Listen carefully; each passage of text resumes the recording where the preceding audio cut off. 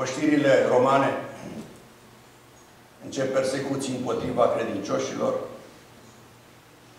au loc cele zece domnii romane, toate cu interzicerea credincioșilor, cu sacrificarea lor, cu prigoana împotriva credincioșilor, zece împărați la rând ai Romei se luptă cu biserica lăsată de Domnul Isus Hristos pe pământul acesta. Valuri mari, prigoane, creștini morți, răstigniți. După treaba aceasta, ce vine după în straja a doua? Miezul nopții. Când Biserica Catolică, cu niște forțe uriașe, se întinde ca o caracatiță pe fața Pământului și ține în întuneric în jur de 900 de ani lumea care umplea Pământul. Cât ți-au omorât romanii? Dacă ți-au omorât Biserica Catolică în acești aproape 900 de ani? Câți credincioși au fost dați săbii și nimicirilor din partea Bisericii Catolice? Este greu de estimat. Dar e vorba de zeci de milioane de martiri pe care i-a avut Domnul Hristos pe pământul acesta în timpul Bisericii catolice. A trebuit să vină reforma care a scuduit din temelii Biserica Catolică la anul 1512 prin Luther. Și de atunci Dumnezeu a îngăduit ca să ia naștere cocoșii lui Dumnezeu care au început să trâmbițeze jertfa Domnului Iisus Hristos și venirea Lui.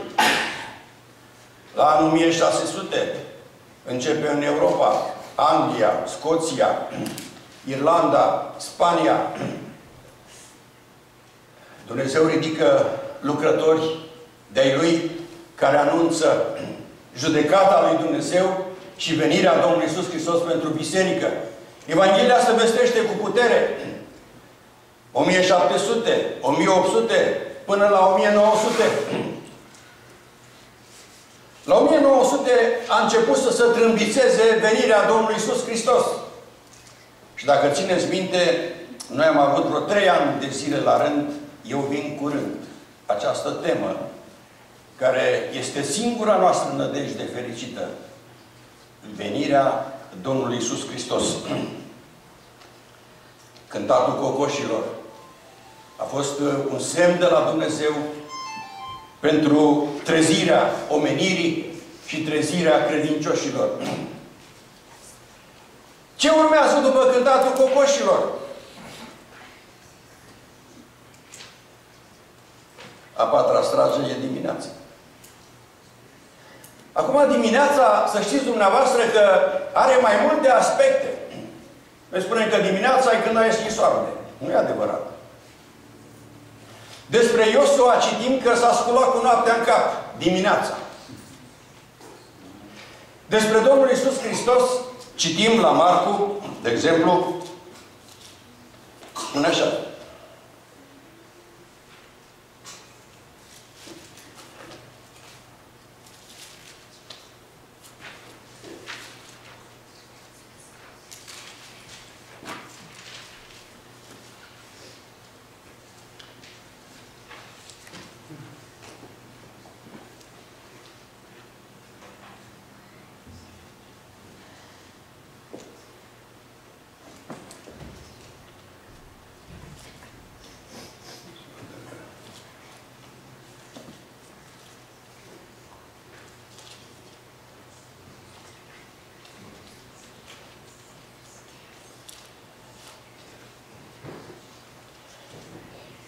Marcu, capitolul 1, versetul 35.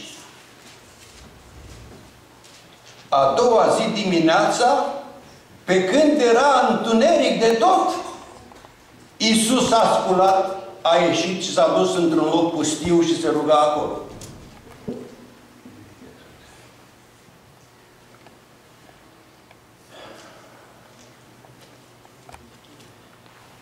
Maria Magdalena s-a dus dis de dimineață la Domnul Isus Hristos, la mormânt, pe când era încă întuneric.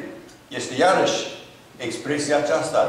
Dimineața, pe când era încă întuneric. A ajuns la mormântul Domnului Isus Hristos.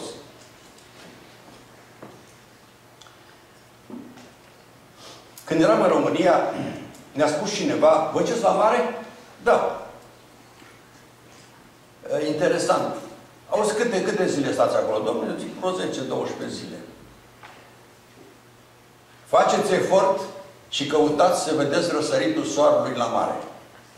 O să vedeți ceva ce n-ați văzut toată viața. Bun, ne-am hotărât.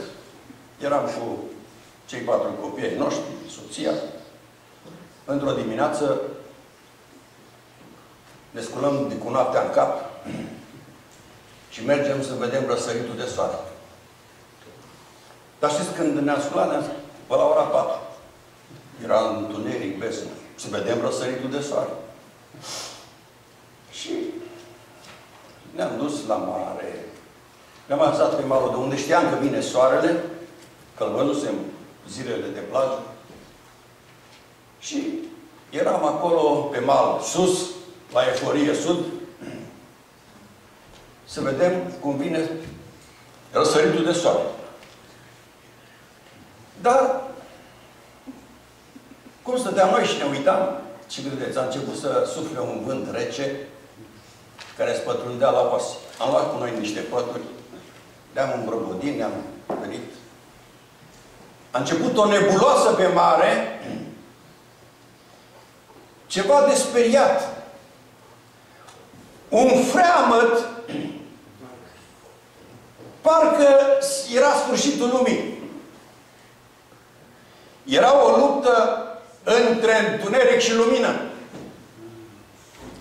Era o luptă între curenții maritim și uscat, unde bătuse soarele toată ziua. Lucrurile acestea dădeau o luptă și un freamăt deosebit. Ne scribuleam și ne plimbam pe acolo și când ne uitam așa, că nu mai se vedea marea, nu se mai vedea nimic, totul era un abur, deodată vedem cum uh, apare o stea. Ce era în freamătul ăsta? Ce era steaua asta? Luceafărul strălucitor de dimineață. Ce anunță luceafărul acesta care a ieșit de acolo? Anunță că începe o nouă zi. Deci din întuneric a ieșit ăsta. Și nu se poate vedea toată ziua. Ce mai anunță luceafărul acesta? Anunță că după el este soarele. Deci Domnul Iisus Hristos vine întâi ca luceafăr pentru biserică. Mai târziu vine ca soarele strălucitor pentru poporul evreu. E minunat.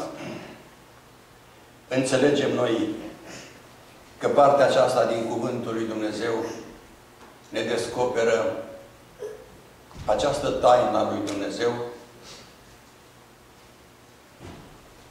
după noaptea prin care a trecut biserica, după prigonirile, după întunericul, după ce a fost uh, impresionată de atât, așa de mulți Hristoși mincinoși, proroci mincinoși, învățători mincinoși, apostoli mincinoși, frați mincinoși, printre care Trebuie să navigăm spre cer. Lista aceasta celor cinci mincinoși o găsim în Cuvântul lui Dumnezeu. Despre primii trei vorbește Domnul Iisus Hristos. Despre următorii apostoli mincinoși și frați mincinoși vorbește Pavel. Într-o epocă a minciunii, noi ținem la adevărul lui Dumnezeu. Ținând la adevărul lui Dumnezeu, suntem una cu Domnul Isus Hristos. Eu sunt calea, adevărul și viața. Cuvântul lui Dumnezeu ne arată că Dumnezeu este adevărul. Domnul Isus Hristos este adevărul. Duhul lui Dumnezeu este adevărul. Duhul adevărului, spune Cuvântul lui Dumnezeu, vă va învăța cum să răspundeți. Frații mei, mai mințiți? E cineva aici care minte? E foarte interesant cuvântul lui Dumnezeu în două epistole foarte duhovnicești pentru biserică amintește lucrul acesta. Nu vă mințiți unii pe alții, fraților! Epistola către Coloseni și în epistola către Efeseni găsim această expresie. Și apoi îți pui întrebarea, mai poate credinciosul să mintă? Fiecare din voi să spună aproape lui adevărul, spunea Domnul Isus Hristos.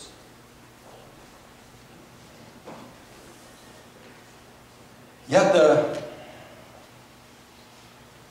ce înseamnă luceafărul strălucitor de dimineață.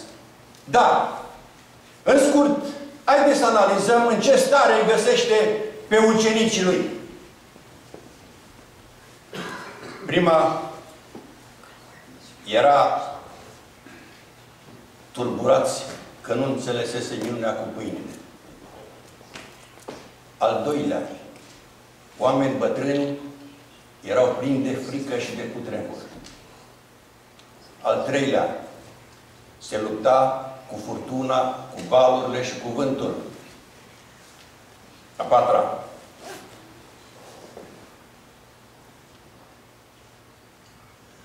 Eu cred că dacă am fi fost lângă ei, două lucruri vedeau în toată ființa lor.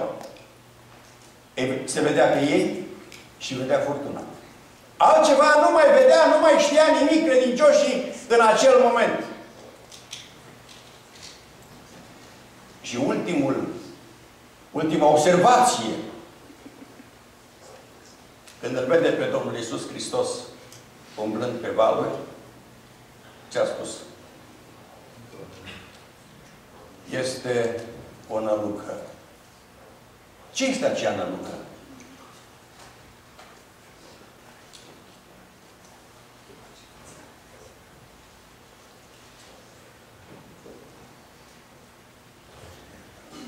Mă auzit și eu pe la oameni simpli.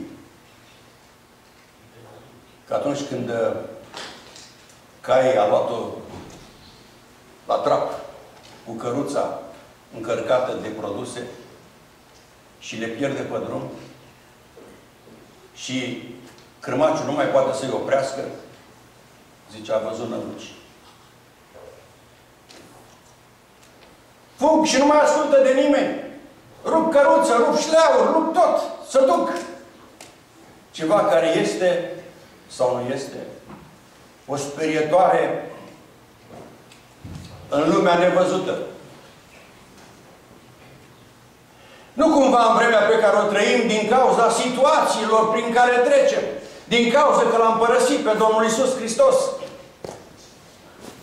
Șatana ne șoptește, crezi că sângele Domnului Isus Hristos vărsat acum 2000 de ani te spală pe tine de păcat? Crezi tu că ai toate păcatele iertate? Asta e o închipuire de ta.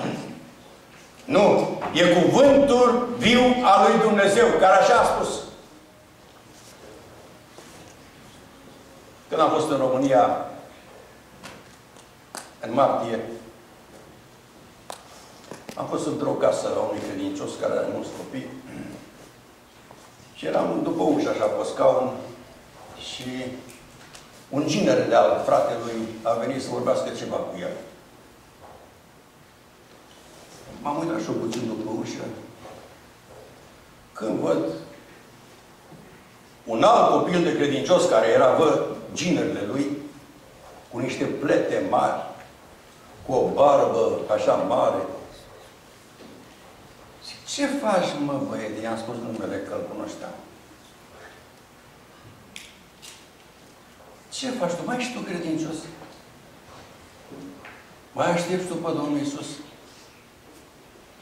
Ne-a trandafire. Nu mai vine Domnul Iisus.